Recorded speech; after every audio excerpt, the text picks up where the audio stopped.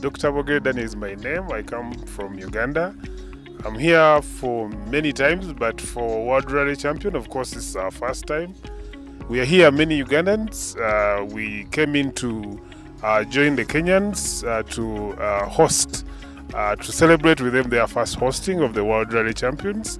But Uganda, we've not yet seen big participation. We hope the next event we shall do much better. We love Kenya. We have enjoyed the food, uh, nyama choma. I enjoyed the chapati and everything. And we are still enjoying here. We are here for about three, four days.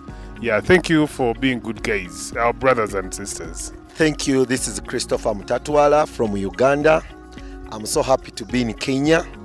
It's a great experience as part of the FMU team in Uganda. We've learned a lot, especially starting from the arrangement, the organization of the Larry. And we hope come next year, more of Ugandans will come. And we hope to bring more delegates on the federation to learn more from Kenya. It's a great experience. We love the environment and more so the safety of the car. Uh, really, it's good.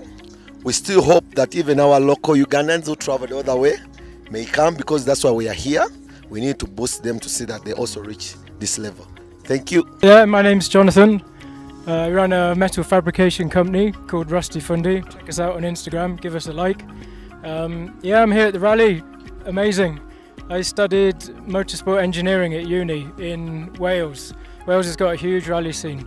So we were up at like five in the morning, freezing in the forests, uh, waiting for these cars to come by like 20 years ago. So it's great to, for it to be here and um, yeah, in such a nice condition, beautiful place. It's been, uh, it's awesome. Yeah, really exciting.